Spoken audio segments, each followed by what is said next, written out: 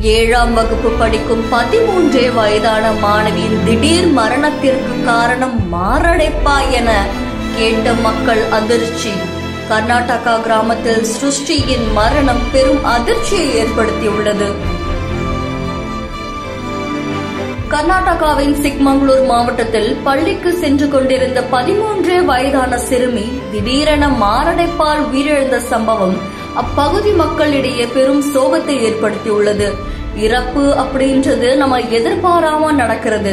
ஆனா இந்த வயசுல இப்படி ஒரு இறப்பு ஏன் வந்தது அப்படின்னு அப்பகுதி மக்கள் பெரும் சோகத்தில் ஆழ்ந்துள்ளனர் முடிகரை தாலுகாவில் உள்ள கேசவலு கிராமத்தில் வசிக்கும் பதிமூன்றே வயதான சிருஷ்டி என்கிற மாணவி தாரதஹள்ளி தொடக்கப்பள்ளியில் ஏழாம் வகுப்பு படித்து வந்தார்.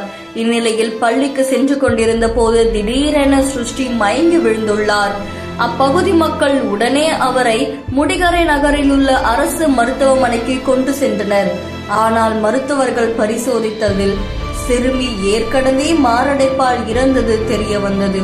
இந்த சம்பவம் கர்நாடகாவின் சிக்மங்களூர் மாவட்டத்தில் உள்ள மக்களை பெரும் சோகத்தில் ஆழ்த்தியுள்ளது.